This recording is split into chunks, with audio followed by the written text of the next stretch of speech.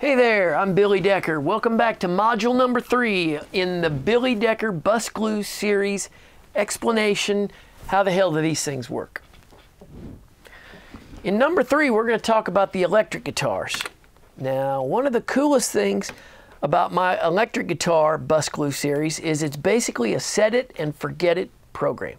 It works on clean guitars, works on dirty guitars, it works on cigar box guitars, it works on guitars you've stolen from best friends, it works on guitars that you bought at a pawn shop. Let me show you what this sounds like without it.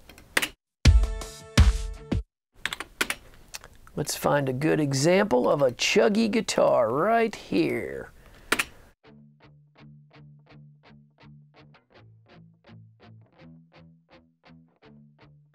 All right, that's a nice chugging guitar. Let's put the bus glue electric on and we calibrate our knobs. Our mix is at 10.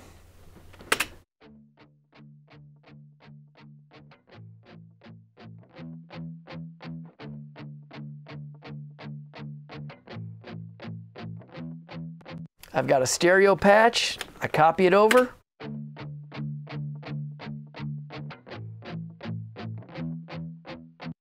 That's done. It's that easy. Now let's put it on a distorted heavy guitar in a chorus. See what that sounds like. Here's without.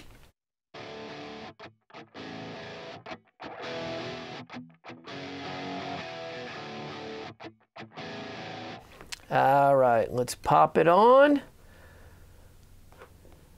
does not get any easier than this.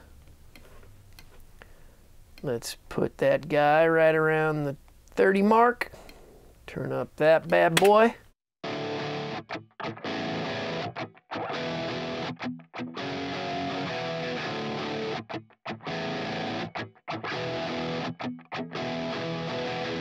Let's clone it over.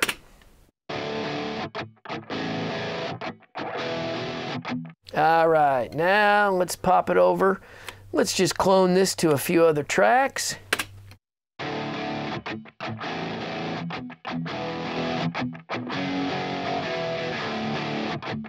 And what do we got going on here? Let's just clone it over.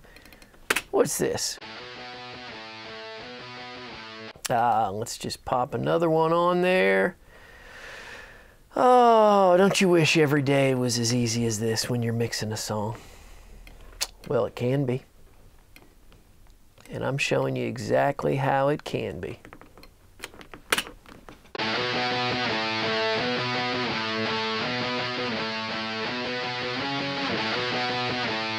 All right, let's hit play. Let's open up this song.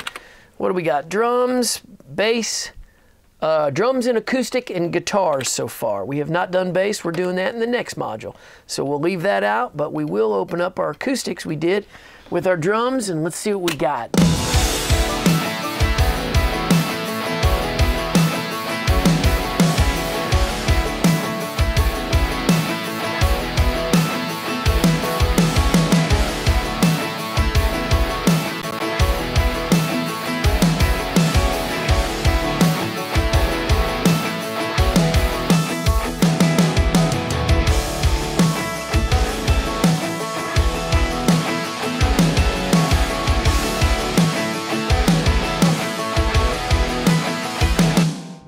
So there you have it, the electric Billy Decker bus glue. We'll see you on the charts.